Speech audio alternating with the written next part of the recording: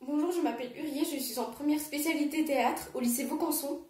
Mon meilleur souvenir de théâtre de cette année, c'est L'île des esclaves de Jacques Vincé, inspiré de l'œuvre de Marivaux, euh, que nous sommes allés voir le 29 janvier 2020 à 20h au théâtre Olympia de Tours. La pièce est en trois parties. Dans la première partie, nous avons Jacques Vincé qui nous raconte ses anecdotes et ses débuts dans le théâtre en voix off. Dans la deuxième partie, nous avons les cinq comédiens qui jouent l'œuvre de Marivaux.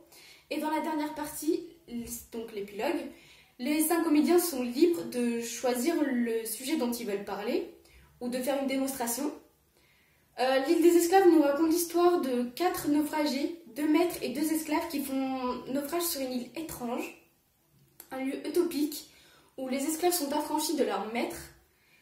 Euh, dans cette île, les anciens maîtres deviennent les nouveaux esclaves et les anciens esclaves deviennent les nouveaux maîtres, dans le but de faire prendre conscience aux anciens maîtres de la souffrance et de l'humiliation qu'ont subi leurs esclaves, et de corriger leur conduite si un jour ils espèrent retrouver leur liberté.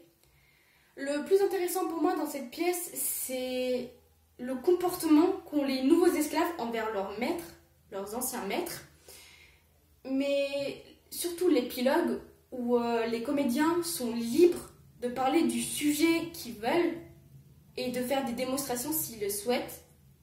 Mais surtout le rôle de Trivelin, qui dans la pièce de Marivaux est un homme qui, qui a de l'autorité car c'est le maître des lieux, c'est le maître des l'île, mais dans la pièce de Jacques Vincé est une femme, en plus de ça, une femme de couleur.